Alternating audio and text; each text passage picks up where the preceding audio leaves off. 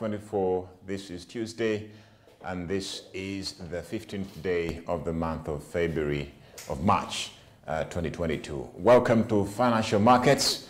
With me, Julius Suga, and my colleague right there also, uh, Amuriat, as we bring you the latest in uh, what is happening in the world of financial markets. We talk about uh, what's happening in the world of uh, banking and finance and probably what's happening in the world of the stock market, both locally and also globally. So we are very glad to be actually reaching you wherever you are right now. Follow us on our Twitter uh, handles, Smart24, and also our um, our other Facebook and social media platforms, just Smart24, and then you'll be able to get the latest of uh, information that basically you will actually uh, need and also will as well need to make very good uh, business decisions and also financial decisions and also investment decisions. So that's what it's all about, to make better investment and financial decisions. So right here we have a lot of uh, news and updates coming up uh, and we're going to be having a very wonderful time looking at some of these very interesting uh, stories and news as we actually drive deep into what's happening in the markets, both locally and internationally. To start with, let's have a look at uh, how Uganda's uh, market or probably business environment is right now. Just turn with me right here over to the screen as we basically now give you uh, some of these very interesting updates. Now, it's very much important to keep abreast with uh, some of this information and most especially with uh, key economic indicators and parameters that basically help us to gauge where the country is in terms of its economic performance.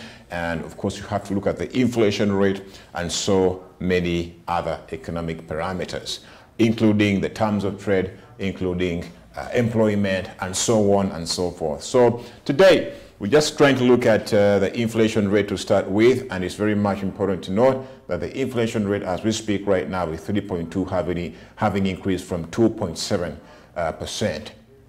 Uh, in the previous uh, quarter. So right now as we speak, as of uh, last month of uh, February, we have inflation rate going up a bit to 3.2%. So this also has a lot that it explains about the economy and most especially prices of commodities in the economy. So if you look at the food inflation as well, it's still basically remaining the same as of uh, as of uh, as per Bank of Uganda and World Bank.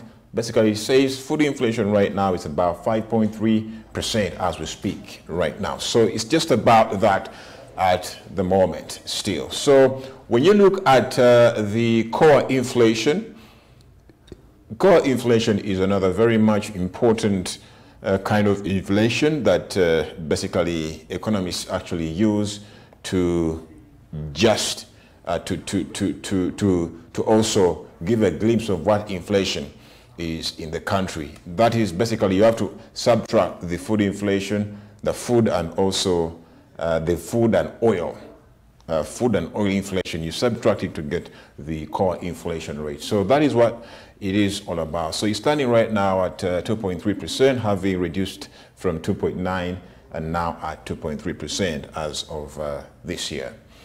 So if we probably may look at uh, very much important, very much important uh, indices right here, you can not really indices, but economic indicators right here, you can actually also have a look at the uh, consumer price index, housing utilities. Well, it's standing at uh, what 112 points uh, still right now, just like you can see right over there.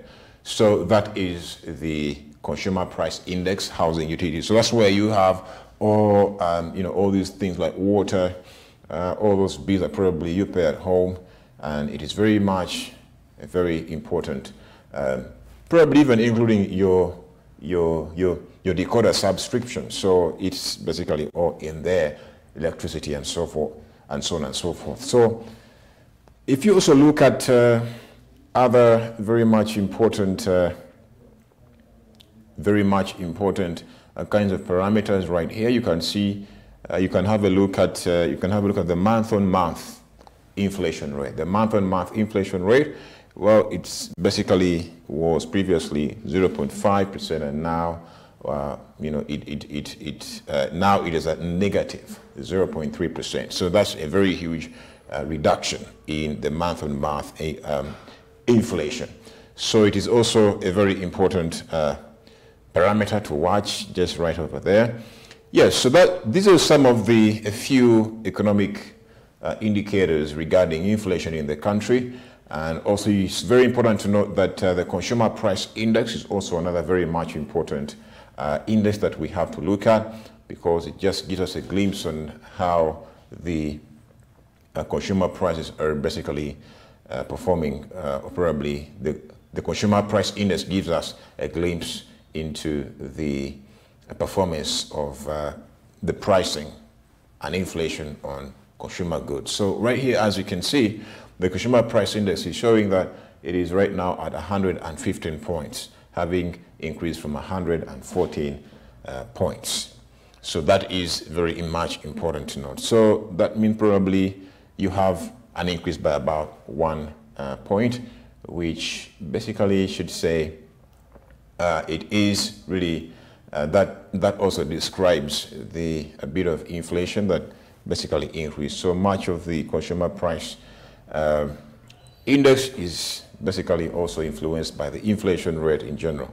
So as just like you can see right there. So let's now have a look at uh, other very much important uh, updates, and most most especially we have to also look at uh, we have to look at the uh, the Uganda Securities Exchange uh, market snapshot, which will give us a very good glimpse of how the stock market in Uganda is performing right now. So uh, let's now have a look at the market snapshot right over there. Yes, so this is the market snapshot, and it is very, it's, it, it looks quite a bit, uh, a little bit exciting today because you can see some form of volatility here and there. Remember that uh, a price, a market that is basically uh, price uh, stable sometimes is not a good one, most especially for investors. It needs to be really a very uh, volatile market for us, for there to be um, some form of uh, some form of, uh, of, of, of, of, activity. Right here, just as you look at the Bank of, uh, as you look at the market snapshot, Let's start with the Bank of Baroda, Uganda. It's also listed on the Uganda Securities Exchange. And just recall that this information is recorded, uh, is just uh, its market snapshot as per the Uganda Securities Exchange right this morning. So many things can go on changing all throughout the day, but this is to give us a glimpse on where some of these uh, stocks are basically uh, currently are right now. When you look at the Bank of Baroda Uganda, its, its share price right now as we speak is 90 shillings. And so that is the amount that you would buy a share in Bank of Baroda, a public listed company on the Uganda Securities Exchange. So this is the price at which you would buy um, a share there at this point. So that hasn't much of changed of late. As you can see that probably there, not, there has not been much of an activity uh, going on, but probably anything can happen all throughout the day. Also looking at the British American tobacco, Uganda, is trading at a share price of 15,000. So it's also still at 15,000 for uh, quite a while now. And British American tobacco has also been on the USE for quite some time now and also uh, trading at a share price of 15,000 for quite a while. Centum Investment Company uh, Limited is also listed and it's also been at a share price of 438.01. It hasn't changed at all. And probably throughout the day, anything can happen that can basically change the share price. So you just never know what comes up. There's so many factors that basically do, do affect the stock market each and every day. When you look at Cipla Quality Chemical Industries, it's also trading at a share price of 90 shillings as we speak right now. So it's uh, quite a, very much important uh, uh, issue to note that it's also been at that for the last few moments. And unless something happens throughout the day that can basically change that. Otherwise, it's trading at a share price of 90 shillings right now. When you have a look at uh, Development Finance Company of Uganda, you have it here. Uh, it is showing that it is trading at a share price of 564.00. However, you can, uh, the market snapshot is indicating that uh, the stock is down by 1.60 uh, percent. So a share is basically the price is down by 1.60 uh, percent as we speak as of this morning. But of course, as the day goes along, you just never know what happens. Anything can happen, but it is important to note that DFCU uh, Limited is uh, share price is basically down by 1.60%. Now, when you look at East African Breweries Limited as well, you have it also right here. And uh, it's basically trading at a share price of 4,800 and, uh, uh, 86.05. And there is not much of a change on its share price of late because this indicates probably that there, there have not been any much of uh, trading going on right over there. So it is still at 4,886.05 shillings per share. When you look at uh, Equity Bank Limited, Equity Bank Limited is also trading at a share price of 1,612.88 uh, shillings per share. This is Ugandan shillings per share. And uh, it is also important to note that nothing much has changed on that stock of late. KCB is also listed and it is trading at a share price of 1,413.64 and this hasn't much of change as well as of late. This is KCB Group. This is also cross-listed uh, on the Nairobi Securities Exchange. So you have Kenya Airways it's trading at a share price 121.12 shillings per share. And uh, it is also important to note that this has been at this price for the last few moments. We've had it at uh, that particular price. Nothing much of late has been recorded as of this morning. So it's trading at a share price of 121.12. That's Kenya Airways. MTN Uganda Limited is uh, also at 180 uh, shillings per share right now if you were to acquire a piece of MTN today. And so that is the price. Right now, we can say that probably nothing much has changed of late as per this morning as recorded by the USE. If you may look at, uh, if you may look at the National Insurance Corporation right here, uh, it's basically showing here that uh, its share price is up by 7.8% as we speak right now. This is an interesting uh, figure and scenario. You can see here that uh, this is a very huge jump and 7.8 is no joke probably of an increase. So it is quite a very significant uh, bounce, bounce upwards. So we, we should say it, is, it has soared uh, just as of this morning. That's the National Insurance Corporation. That's why I say today's market snapshot looks to be a bit exciting because of the volatility. I can see some bit of reds and some bit of greens right over here. So that's, so far we have the National Insurance Corporation, with the highest uh, jump, probably increase in, in its share price, and thus uh, its share price, however, is at 5.10, 5.10 uh, shillings per share as we speak, but it's showing that stock is up. This, its share price as of this morning is up by 7.8%. If you may look at the Nation Media Group, Nation Media Group is also listed and also cross-listed on the Nairobi Securities Exchange, as we're going to see. We're going to see how it's performing in Nairobi as well. And some of these other companies like KCB Group, Equity Bank, East African Brewers Limited, and Umeme and so many others. So we have nine companies, Uganda companies listed here. And the rest are basically Kenyan companies. Now, you have Nation Media Group at 632.50, and it is showing here that nothing much has also changed on its share price and thus remaining at 632.50 uh, shillings per share. Now, if you look at also, if you look at also New Vision Printing and Publishing Company, well, this been, of course, uh, it is still listed on the exchange uh, in spite of its previous, uh, in spite of its previous fraud allegations and a bit, a bit of a few issues here and there. However, it is trading at a share price of 160 shillings per share. If you look at Stanbic Bank, Stanbic Bank Uganda, right now, as we speak, Stanbic Bank Uganda's share price is up by 1.77% and indicating right now that a share is at 26.04 shillings. So this is uh, quite very much important to know that uh, we have two gainers as of this morning, which is uh, National Insurance Corporation and we have Stanbic Bank Uganda as well. These two are gaining and uh, we have one loser so far. And so it is very also important to note that uh, this is a very exciting moment, especially for me when I see some bit of volatility on the uh, exchange. When you look at Uganda Clays, it's now uh, trading at a share price of 22 shillings per share. That is Uganda Clays, the first, uh, the first, uh, the first company to be listed on the USE.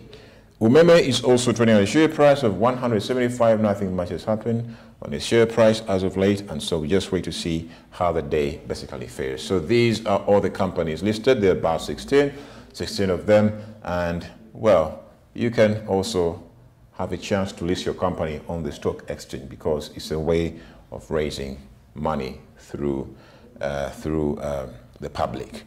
So let's now basically now turn to other markets, and that is uh, the Nairobi Securities Exchange, and have a look at also how it is performing. So let's have a look at the Nairobi Securities Exchange. Yes, this is uh, a very good uh, example of uh, what is happening over there as well. So this is the Nairobi Securities Exchange, and there is so much to basically also uh, look at right here. There are many companies listed on the exchange. We may not actually have a look at all of them, but we're going to be looking at the active ones and probably uh, just probably go through the share prices of some of the uh, companies also listed on the exchange. But but today's uh, table looks to be very volatile and so many losers as well as of this morning. But well, it's a bit active, we should say. So as of uh, this morning, coming from uh, CNBC, Nairobi Securities Exchange, let's have a look at some of these companies. For example, when you have a look at uh, Kabaseed Investments, Kabaseed Investments, its share price is down by 2.24%, and that is an equivalent of a downward movement of about 0.25%, uh, 0.25 points, and thus bringing it to 10.90 uh, shillings. When you look at Equity Bank, Equity Bank, surprisingly today, we don't have anything uh, regarding Equity Bank uh, change in the share price. So as of this morning, we don't have much happening right over there, unless something is basically happening right now or in the next few minutes. But it is showing that nothing has happened on the share price and so still remains at 51.25 51.25 Kenyan shillings per share. That is Equity Bank. We see Safaricom. Safaricom is also another company listed, and yesterday by this time we saw its share price was down, but today we can see some bit of uh, uh, a green, green light right over here, and today's Safaricom share price is up by 1.41% as of this morning and thus indicating um, an additional 0.50 points on its share price, bringing it to 36 Kenyan shillings per share. When you look at other companies like KenGen, uh, KenGen, some of you actually have invested in these companies and probably you have a feel, a very good feel of what uh, their performance is like. Now, if you look at KenGen, Nothing much has also been reported because probably we may say not much of trading has happened of late, but uh, it's basically trading at a share price of 3.75 Kenyan shillings as we speak right now. That's KenGen. Kenya Power is also another company to look at because uh, it's also a key company over there in Kenya. And it's, it's being reported that its share price is down by 1.95% and thus down by 0.03 points, giving it 1.51 Kenyan shillings per, uh, per, per, per share as we speak right now. Now, Uchumi, Uchumi stock, I'm actually getting to love Uchumi stock because yesterday by this time it had over 4.1, 4.1 uh, percent. Uh, it, its, its share price was up by 4.1 percent, but today it's down by 4.55 percent. So that's what basically we call volatility and probably some bit of activity happening here and there. This needs to happen probably all the time, almost every day. Uchumi Supermarket, of course, many of us have been familiar with it, and uh, it's no longer operational in Uganda, but in Kenya, it's very, it's a very active brand right over there. So it's basically down by 4.550 as we speak, and thus down by 0.01 points, giving it a 0.21 Kenyan shillings price per share. So if you have a look at uh, the Cooperative Bank, Cooperative Bank uh, Kenya, its share price is up by 0.78% and thus 0.10 additional points, giving it a 13 shillings per share price as we speak as of this morning. So these numbers, remember, are changing all the time. If we may have a look at Kenya Commercial Bank, we have seen that uh, its share price has uh, increased by about 0.11% as of this morning and uh, thus 0.05 additional points on the share price, giving it a 45.10 uh, Kenyan shillings per share price. So that's where it is right now. So if you look at other companies, for example, Centum Investment, which is also listed, it is cross-listed on the Uganda Securities Exchange. You can see here that uh, its share price is up by 1.12% and thus uh, an additional 0.15 uh, points, giving it a 13 point, right now trading at 13.50 Kenyan shillings per share as we speak right now. That is Centum Investments. Now, if you may have a look at other uh, companies here, you have Longhorn. Longhorn is also another company to look at. Many of us are familiar with some of these brands. Its share price is down by 5.26, and that's a big loser as of this morning. So Longhorn's share price is down by 5.26%, thus down by about 0.20 points, giving it a 3.6 uh, Kenyan shillings per share price as we speak uh, right now. When you look at East African cables, uh, East African cables, its share price is 5.5% up. And that is quite something impressive, giving it a 0. Point, uh, that is uh, equivalent to additional uh, points of 0.06 on its share price, thus giving it a 1.15 uh, shillings per share. So that's it for now, but we have more updates on some of these companies on the Nairobi Securities Exchange and I'm going to be right back with lots and lots more.